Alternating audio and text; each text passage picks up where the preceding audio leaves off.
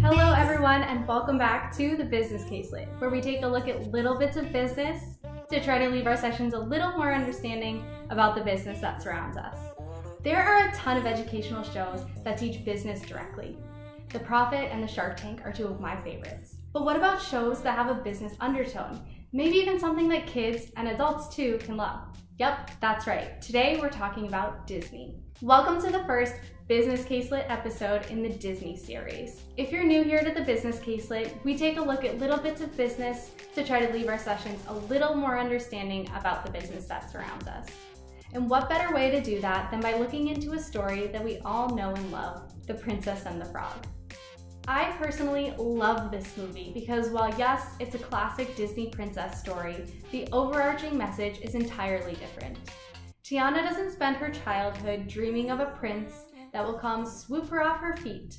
No, she spends her childhood, youth, and young adult life imagining, planning, and saving up to make her dream of opening a restaurant with her daddy a reality. She puts her actions behind her craft shares her skill with her community, and builds her brand around her end goal, all core markings of a successful entrepreneur. But what are those steps or moments that led Tiana through her successful entrepreneurial journey? Let's take a look at three key ingredients that got her there. Her first step was realizing and developing her product of interest. Her second step was branding her idea and herself. And her third step was funding and getting going. First, let's talk about her product. When Tiana realized she had perfected her gumbo, she called the neighborhood together and shared her product. The public's feedback gave her proof of concept for her product's quality and taste. They called it the best gumbo they've ever tasted. Later in our hero's journey, we see Tiana win a big beignet contract, driven by her client's desire to impress a foreign prince. That's a strong statement about Tiana's beignets.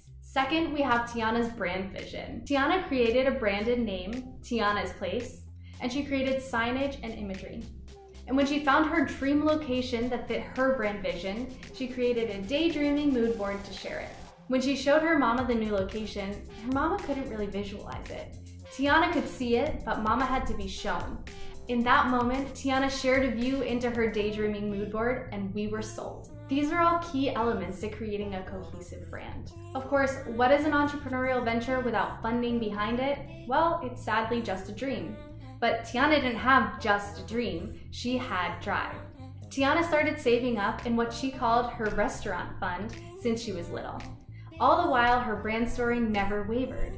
Always Tiana's place. So there you have it. Three core elements that we see Tiana focus on throughout her entrepreneurial journey her product, her brand, and her funding. At the end of our story, Tiana does become a princess, but the final scene shows her giving her hard earned cash to the realty office. Because first and foremost, on the entrepreneurial level, investments don't just walk along from a prince or other with no strings attached. And second, on the Disney level, Tiana did not need a prince to make her dreams come true. Before we sign off, I'd love to leave you with two cautionary tales. Throughout the journey, we see Tiana resist pressures to stray from her entrepreneurial course.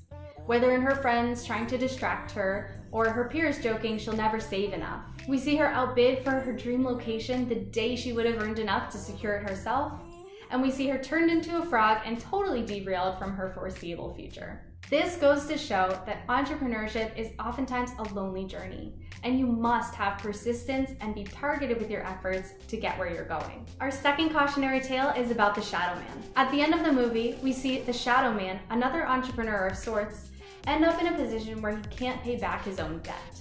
In this case, we see a warning. The right type of debt matters, and it's important not to over leverage your venture, even when there's some temptation to cut some corners. The moral of this story, this Disney story, and this little business caselette is that entrepreneurship is a difficult and oftentimes lonely road. But with concentration, determination, and a clear, never wavering, but yes, evolving brand story, you'll be almost there. Be sure to give this video a like and subscribe below, and I'll see you in the next one.